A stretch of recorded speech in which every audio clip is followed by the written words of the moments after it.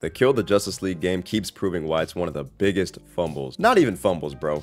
This game's a fucking travesty. A crime against humanity, even. Look, I promise you guys, bro, this will be the last time I bring this up. Probably. Maybe. They'll probably do more stupid shit like this in the future, and I'll probably have to make another vid when they add Squirrel Girl in as a fucking paid DLC. But with Season 1 dropping, I didn't really think the game could get any worse. More content is always good, even if it's shit, right? Bro, this Season 1 update is fucking garbage. It's fucking garbage. But before I even explain where we're at, we gotta look at how we got here. Quick recap of how this game got to be where it's at. Suicide Squad was coming from Rocksteady Studios, the same company that made the famous Batman Arkham game series. These games are regarded as some of the best superhero games ever created. These games literally paved the way for superhero games today. Games like Spider-Man would look so different if Arkham never existed. So when Rocksteady Games announced this game, people were foaming at the mouth, dog. They dropped a trailer that made Suicide Squad look like a single-player cinematic type story game game. There was already a lot of hype since it was being made by Rocksteady, but when they announced this shit was in the Arkham universe, the same universe as the Arkham Batman games, and the Batman in this game is literally the same Arkham Batman, you might as well have told people Jesus was coming back. People were ready to give it all up for this game, bro. Shit, me included, I'm not gonna lie. Arkham Batman, bro, that's Twizzy, bro. That's my twin. But then the gameplay trailer dropped. That shit was so ass. I'm thinking it's going to be a story game and the skill trees are going to be crazy with everyone's unique abilities. No. Hell no. It was a fucking looter shooter, bro. Shoot the purple pimples. That's it, actually. That's all you do. The backlash was so bad, they had to be like, oh shit, we said we were about to drop that? Ah, we were just playing, we were just playing. They had to cancel and delay their whole release, bro. But that wasn't enough to save the game. A year in the gulag wasn't nearly enough time to change what this game already was. There's no way out of this one you're done. The game had finally dropped, and they had promised to add more enemy variety, fix issues and boring gameplay, new content would drop for free in future seasons, and let me tell you, dog, that shit was booty Butchie. The game was so fucking short, I beat it in one day, bro. One! I was playing with a friend too, bro. And no, we didn't just rush to beat every single boss without doing side stuff to shorten our time. But after a few side missions, there was no fucking reason to even do them. You could literally just go straight from boss to boss. Maybe a side mission in between, but sometimes not even. And the bosses weren't hard enough for me to go do side missions and level my shit up anyway. I beat them all first try. That shit took like maybe seven hours, bro. I don't know, maybe less for real. And this really begs the question. Y'all took a year break because of the backlash to work on this game and fix it up, but y'all were about to drop it before that?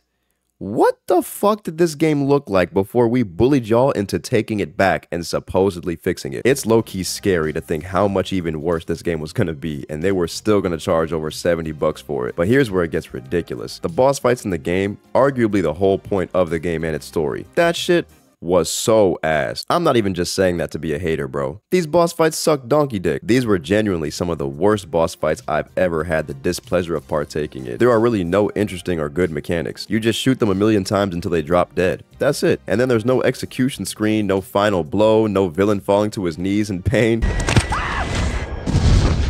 No, bro they just fall. Only one that got a respectable ending was Green Lantern, with Deadshot getting a decent little one-liner before executing him. Funny, because that was also the best boss fight by far, but that's really not saying much at all. The Batman boss fight was beyond buns, bro. What? I thought there was gonna be more phases than that, I ain't gonna lie. I ain't gonna lie, that shit was kinda ass, bro. What the fuck? And the Superman boss fight really wasn't much better, but nothing could have prepared me for how ass the final Brainiac boss fight was gonna be. He's the reason for the whole story. He's a very powerful character, so I'm thinking the boss fight has gotta be the best one. Bro turns into the fucking Flash, and you basically have to redo the first boss fight of the game. Injustice 2, Brainiac. My oh. name's Vril Dox. What the fuck? I'm the fastest man alive. I didn't realize it was that literal. and that brings us to today. The Season 1 update that brings in the Joker as a new character, with tons of new story content and new missions, right? Fucking wrong! The game just resets you back to zero, then you redo all the exact same missions you have been doing since the base game. You grind up to like level 35, I believe, then you go unlock the Joker. That's it. There's no story missions, no real interactions or adjustment time with your team and the Joker joining it fucking nothing. There's only two new cutscenes for the character, bro. That's it. Now, the Joker character has some pretty good movement.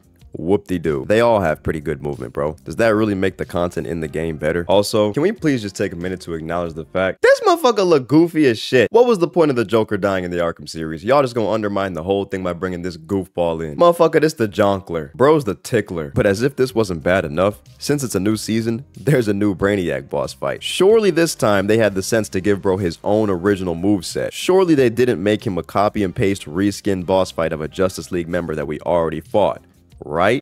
Fuck off, bro. They're literally going in chronological order. They aren't even trying, dog. You're literally just replaying the game over again, bro. I can't do this. They really couldn't give bro any original moves. Brainiac is strong as hell, bro. Give that man his own move. We can't even pretend like this shit's gonna get better. They already showed that they're reskinning the Superman boss fight for the next Brainiac boss fight. I'm fucking done. All the people that were coping, bro, talking about Just wait for season one. It's gonna be so good. That shit is a, a two pack of ass. Even the friend I played with, he always liked the game more than I did. He really, really wanted to give it a chance to succeed. Bro is pissed off right now. He feels played. He feels like he wasted $100. And you know what?